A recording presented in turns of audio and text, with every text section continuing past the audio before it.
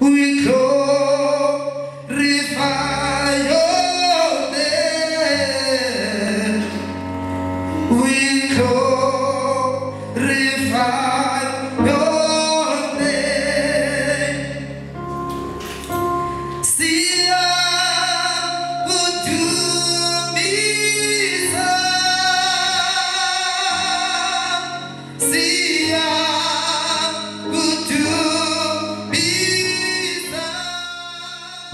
gathering here guys to remember Busi Nobuhle.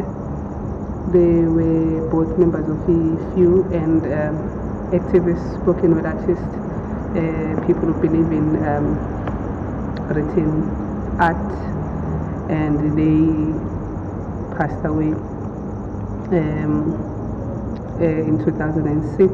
Buhle died on the 1st of April 2006 at the age of 25 and she left behind her mom and her son and her father. Her son was young at the time, he's now 14 years old. And then her mom, um, she died on the first and it was her mother's birthday. It was the most saddest period for most of us who knew her and also who knew Buhle.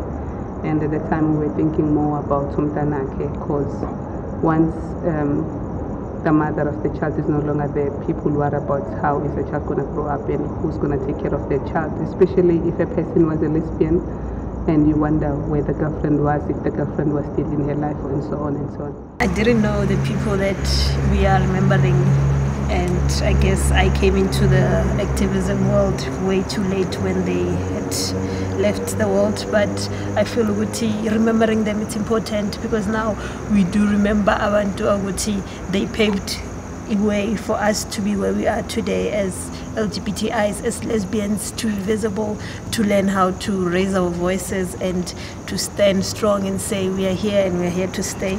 I was in 2006 when they both passed on. I was actually still 15 at that time. So it proves that, you know, life life it's something that needs to be cherished and also looking at the DVDs that we've seen of Ubusi Nobuhle, you realize that activism is not something that just started now because Mina, as a young person, I'm, a, I'm an activist. So it says to me that activism has been there for a long time, and actually, written activism has been there. So for me, it means that it pushes me to even write more and be active. the people that have fallen. But more importantly, I, I want to thank them for their activism, especially in HIV and AIDS, because it's, it's been stigmatized a lot, and a lot of people are scared to come out. And even if they don't have to come out, but a lot of people don't go and test and know their status. But for the fact that they came out and said, This is who I am, I'm a lesbian woman, and I'm HIV positive. And they stood and you know they believed in that and they did their best i guess until well death came to their side. And more importantly i'd like for us to not just talk about activism as in gays and lesbians or homosexuality but hiv and aids. It's still there. A lot of people are still dying. Can we continue to talk about it? I haven't met them, uh, both of them, but I feel that I have met them because uh, through the journey of visiting their parents, like from calling um, Umagabuhle, uh, no Magabusi, and speaking to them over the phone, I felt, you know, that I've met them. And also as a as a parent myself, as a lesbian mom myself, I feel I do not want to get lost in history as well when if I should pass on. I do not want to get lost in, in paperwork when when anything should happen to me. And the fact that they have kids, okay, Ubuhle has a child and I've met uh, son, he's a beautiful boy, you know, um, and looking at the pictures, is Tombe Besithatha noma wakhe, uh, you know, she really loved her son from even on, on, on the documentary Rape for Who I Am.